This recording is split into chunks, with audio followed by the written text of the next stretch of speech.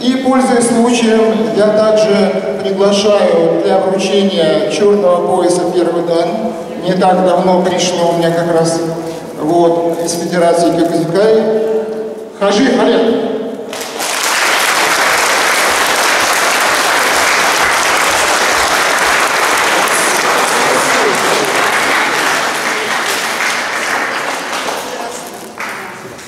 Поздравляем, Олег.